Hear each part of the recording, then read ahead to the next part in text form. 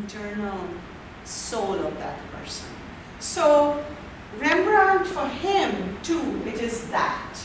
And the light certainly is used in order to, for him to be able to explore the intentions of the soul.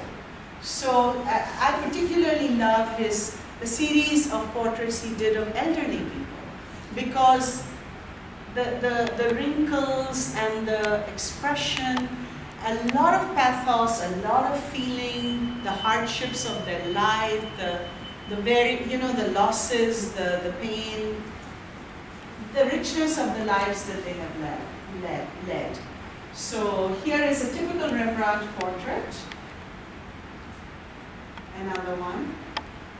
So I, I just love the series of the elderly gentlemen. Some of them, as I said, like the previous gentleman is a rabbi, a contemporary of Rembrandt. Some of them are prophets that he has painted from the Old Testament. Um, and often for the, I mean, in, as many artists have done, it, he might be painting a prophet from the Old Testament, but the sitter will be somebody that he will, if he sees somebody that to him will be the right sitter for Moses, he would have somebody from his neighborhood sit for him, you know. So I mean, just the the the brush strokes and the wispy hair, the delicacy, the highlights, the expression. It's it's just so soft and beautiful. So the emphasis is always the highlight. You know, the best lit is the focal point of the painting and then everything else is dark and diffused and blurred and fuzzy. So it's very clear what he wants to emphasize just by the, the light.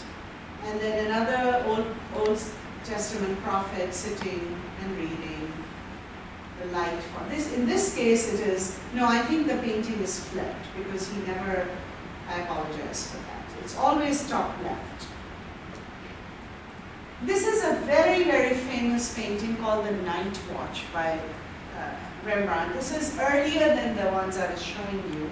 As, his, as he became older, the paintings became simpler. The brushstroke became rougher. And it was almost kind of impressionistic. It wasn't very detailed. With time, the, the paintings became sketchier um, in terms of the textures. This is earlier, this is called the night watch, and this is not religious. Because what you had in Holland, now as I may have mentioned last time, but during the Renaissance you also had the development of guilds, G-U-I-L-D. A guild is a professional association. So because you have now this um, the rise of a merchant class, so you also have the rise of these various guilds. So you had the, the, the cloth merchants guild. You would have the paper merchants guild. You would have an architectural guild. It's almost like the American Medical Association where doctors are registered and they um, kind of uh, ensure that the professional ethics are followed. They also protect the rights of doctors against being sued and so on. So these professional associations called guilds developed. So this is a portrait of such a guild where the gentleman belonging to this guild, it's a group portrait. And so uh, this is very, very famous. It's about the size of that wall and it's in the Rijksmuseum in Amsterdam.